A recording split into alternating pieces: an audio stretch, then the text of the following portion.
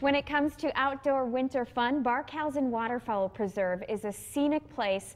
You definitely got to check it out. It's gorgeous. It is. We've got Matt Kriese joining us live from Suamico with more on the winter activities you can enjoy there this morning. Good morning, Matt. Good morning, Doug and Angela.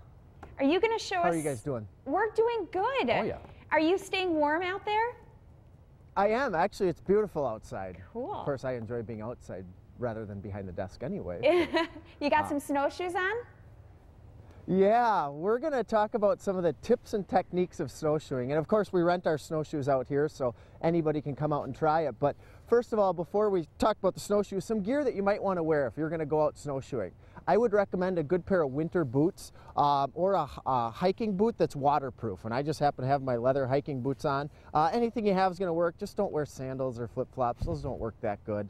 Um, gaiters, a pair of leg gaiters. Nobody likes snow inside your boots. Um, the gaiters keep the snow out, keep your pants or, or clothes dry um, from the uh, knee down. And then also a pair of gloves, if you have waterproof pants, a good pair of coat, whatever, or good coat, whatever you might have, whatever you have in your closet, uh, put it on to stay warm. Although snowshoeing, you do exert a lot of uh, energy and actually you burn 60% more calories than if you were walking or running at the same speed with snowshoes on. And the good thing about snowshoeing is the learning curve is rather short. If you can walk with minimal effort, you can snowshoe. The easiest way to try it out is to put a pair on and uh, get out there in the snow and give it a whirl. And we have a good six, maybe eight inches in spots of snow out here at the preserve. Um, so snowshoes do help out, even though they might not necessarily be needed. Um, with this minimal snow, I have a smaller pair of snowshoes on right now. These are about 10 by 32. If we had deep snow, I'd have a bigger pair on. With snowshoes, walk just like you normally would down the sidewalk, one foot in front of the other, uh, but you do need to pick up your feet a little bit higher than you would, particularly in deep snow. You don't want the tip of your snowshoe to drag through the snow. So I'll pick my knee up a little bit higher and the snowshoes fit together. I don't have to spread my gait out as I'm walking through the snow here. The tail automatically drags through the snow with these pointed tails. It's tracking, it's dragging, and it's keeping my snowshoe in a straight line. I don't want to twist my feet or turn my legs any more than I have to. Sometimes that tends us to, to throw our binding um, out of our boot and we'll lose our snowshoe. Uh, so those are some very simple techniques. Uh, don't drag your feet, make sure to pick them up, one foot in front of the other.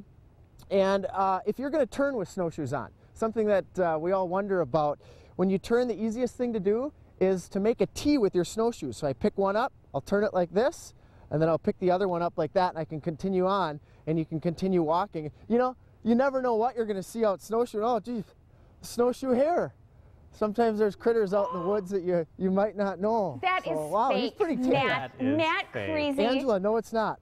I'm not kidding. Do- no, that is a, I that is knew a, it. snowshoe hare from the interpreter. Center. a very neat animal that we have in Wisconsin that adapts to the winter time by changing its fur color to the white to match in with the snow. Although it wasn't very good last winter without the snow. So uh, come on out to the preserve. We have two different snowshoe trails. One is just over a mile. One is just under three miles. Uh, bring your own snowshoes. There's no charge for that. Or you can rent a pair of our snowshoes at two dollars for the the kids or four dollars for adults.